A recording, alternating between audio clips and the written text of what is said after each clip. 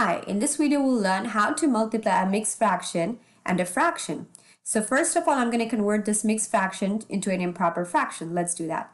In order to convert this mixed fraction into an improper fraction, I'm going to multiply my whole number with the fraction's denominator. So 5 times 3 gives me 15, and then we're going to add that to the numerator. So 15 plus 2 is going to give me 17. So I got 17 here, and the denominator is going to be 3 because when we convert a mixed fraction into improper fraction, we don't change the denominator, right? Now this is times 7 over 2. Now, since we got the fractions here, it's, it's, easier to multiply now. We can just multiply the numerator with the numerator and denominator with the denominator. So 3 times 2 gives me 6 and 17 times 7 gives me 119. Now, this is again an improper fraction because the numerator is greater than the denominator and I cannot leave my answer in this form, so I'm going to use the long division method to convert this improper fraction into a mixed fraction. So let's do that. 1119 divided by 6. 6 will go into 11 one time. So I'm going to put 6 here. 11 minus 6 gives me 5. We can bring down 9. Now 6 will go into 59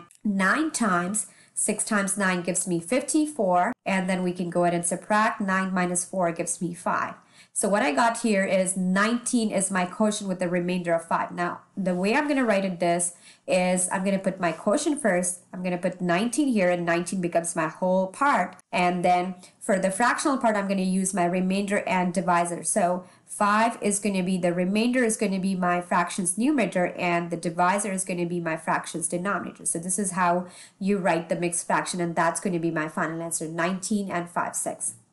That's all in this video. Thank you so much for watching. If you are new to this channel and want to see more videos on other math topics, be sure to subscribe down below and share it with your friends. See you in next video.